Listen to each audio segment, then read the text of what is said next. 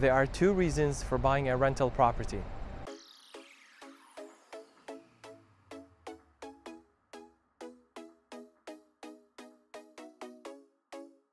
Hi there, I'm Nawar Naji, a real estate broker in the city of Toronto.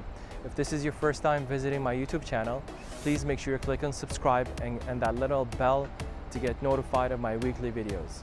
First reason is leveraging the bank's money. For example, when buying a stock for $100, you have to pay the full $100 to get that specific stock. When buying a rental property, you can put down 20% and then the balance, the 80% can be borrowed from the bank through a mortgage. The second reason is 2 plus 2 gives you 19. This is a trick question. Yes, 2 plus 2 equals 19.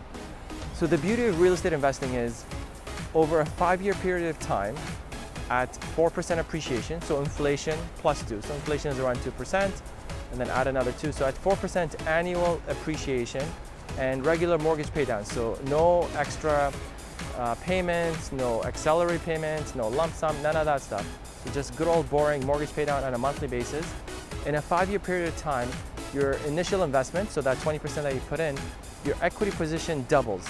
And then your return on investment is 19% annually. So 2 plus 2, which is that 4% annual appreciation, will give you a 19% return on investment. Now, investing in real estate is not the end all be all.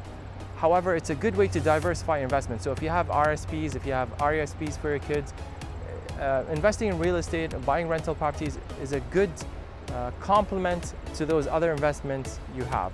If you're thinking of investing in real estate, please feel free to connect.